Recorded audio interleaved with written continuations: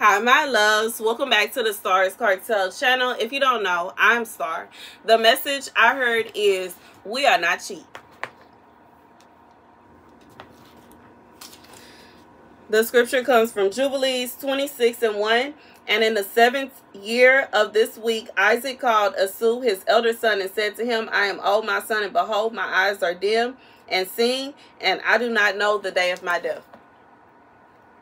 God said for somebody, you have been living um a certain way. It's kind of like you just skim, like you just skating by. You barely making it.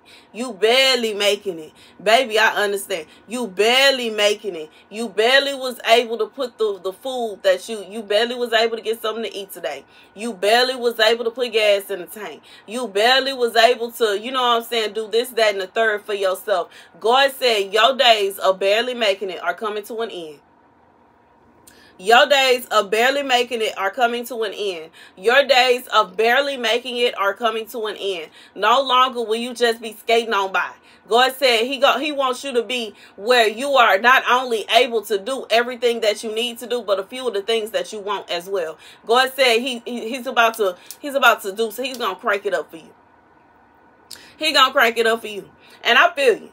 I feel you because you know what I'm saying. I know once I clean out this fridge, I'm gonna be crying because I like I don't have no money to put nothing back in there. So I understand. I understand. I understand. I understand. I understand. I understand. I understand. I know a lot of people keep telling me to go on FEMA website. I have already been on FEMA website and they have not declared the storm that just passed as an emergency. They are not um, giving out help to individuals.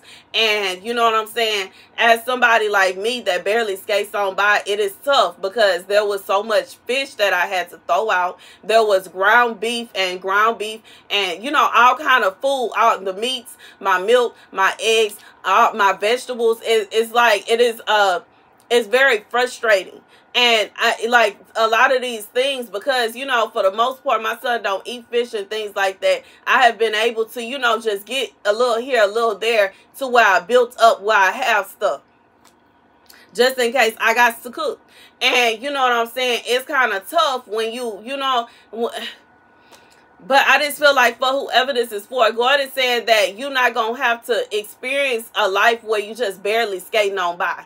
It's, it's like God said you're going to have more than enough. It's going to be so much that if you do want to go and, you know, maybe get your nails done or maybe you want to go to the spa, maybe you want to go do this, you want to go do that. Maybe you want to go on a vacation, you know what I'm saying, and just take a break. You know, I just feel like uh, even some of you take your work with you on a vacation or whatever it is that you choose to do you going to be able to do that. And that's the message. Thank you guys for watching. Be sure to like, share, and subscribe. Deuces.